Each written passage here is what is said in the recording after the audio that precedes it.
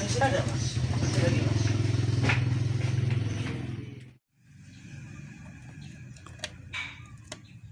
GT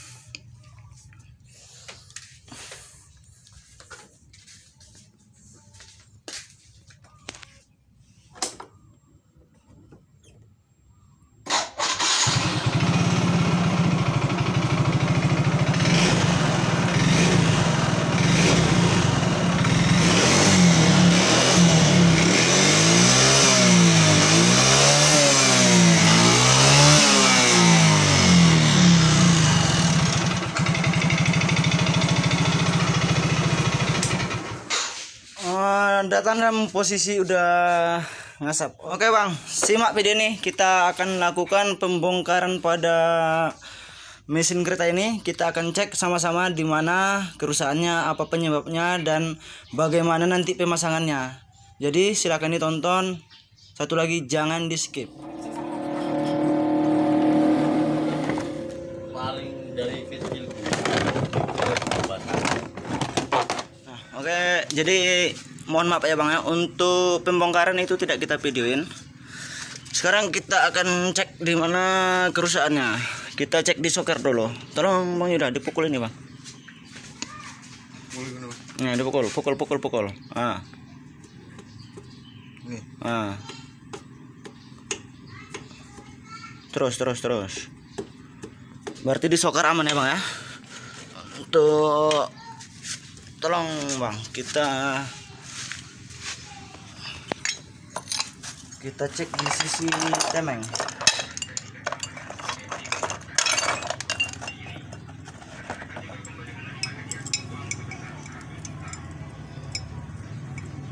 Nah bang ini bang.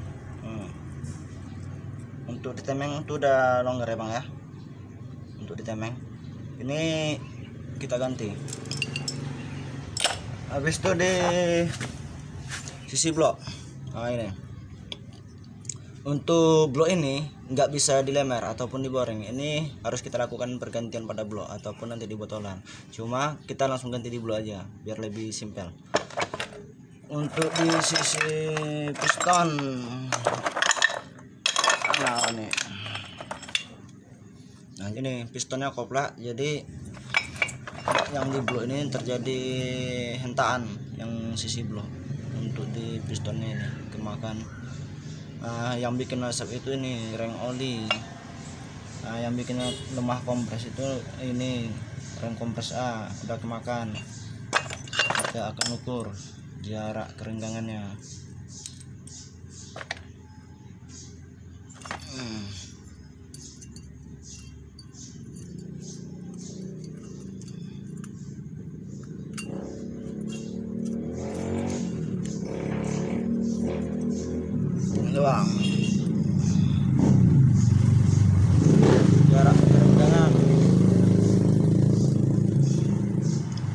Kompres.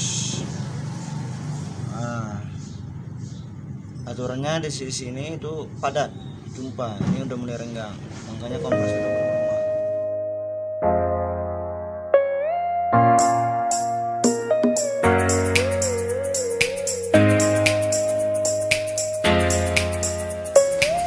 untuk di sisi klep itu yang besar itu ini yang in. Umumnya yang lebih besar yang in X ini itu yang lebih kecil. Yang klep yang besar ini posisinya di sini. Pas di kedudukan intake nah jernia. Sedangkan yang kecil ini itu yang mengarahkan arah ke knalpot Nah, udah cari kuncinya ya sekalian. Sampai tempat Rio.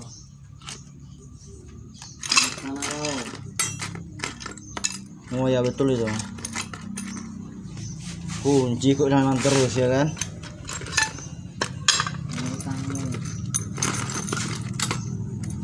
Habis tuh di dalam ini. Rumah. Hmm, itu ada rem tipis. Rem nah, di sini rem nah kalau yang di atas sini Ini mana? iya. Sama kayak Areko itu. Ini sini. Coba tanya Bang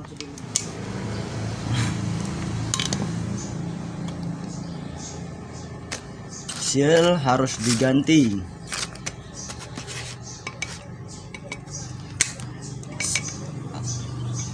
Seal clap ataupun orang clap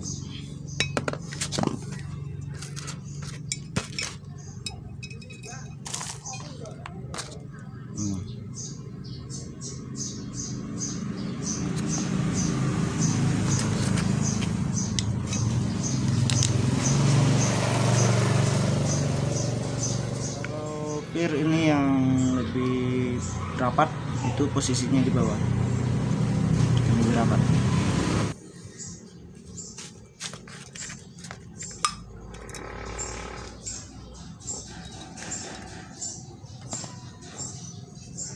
Dia ini bang ya posisinya.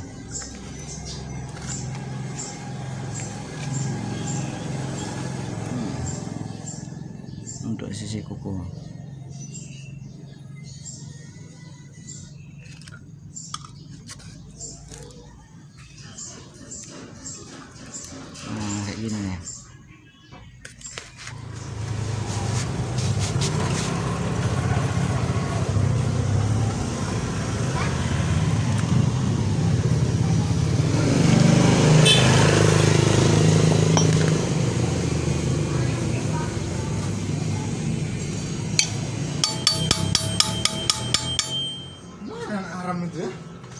siapa? Tendanya nggak ada.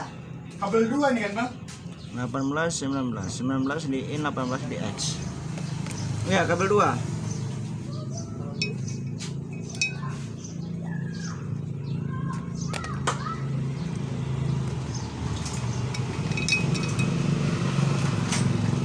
nggak di rumah dia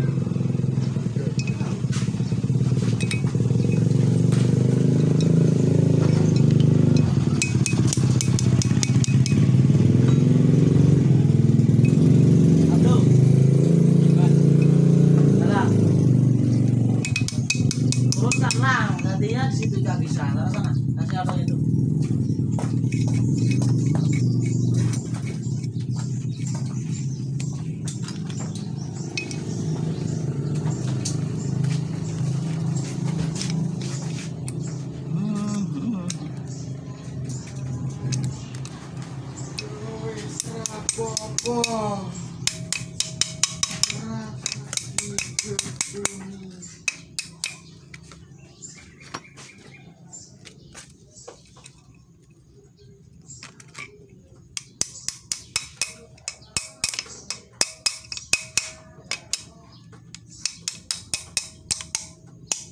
Untuk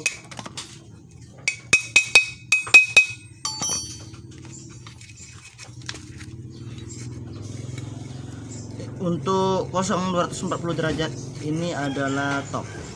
Nah, ini topnya. Di saat top klep sama-sama menutup. Kita tes untuk overlap. Ini dipasangkan dulu biar mudah kita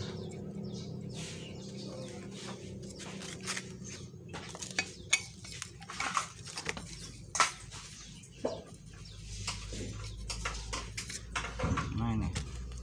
Di saat overlap dia untuk sisi noken itu langsung mati. Nggak ada pergerakan sama sekali. Di saat itu di saat itu eh, untuk led in sama led X itu sama-sama buka.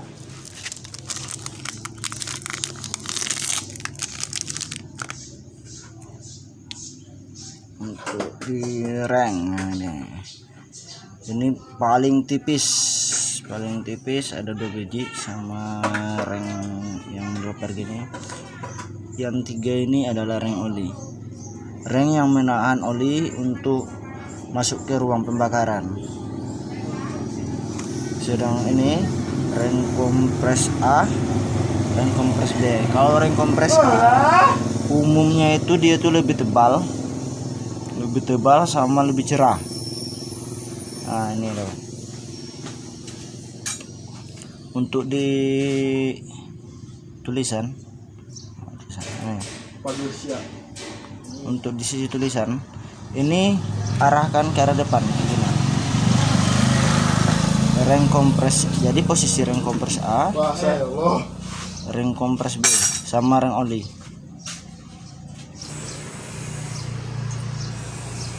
kayak gini teman-teman ya. Untuk disambungkan ring kompres A itu posisikan ke arah penang sebelah sini satunya di sini. Yang penting ini jangan sejajar kayak gini. Nah, kalau ini sejajarnya sejajar nah, satunya diarahkan ke sini. Nah, di sini.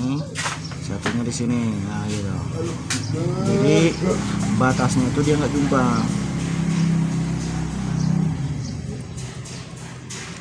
Baru masukkan rem oli dulu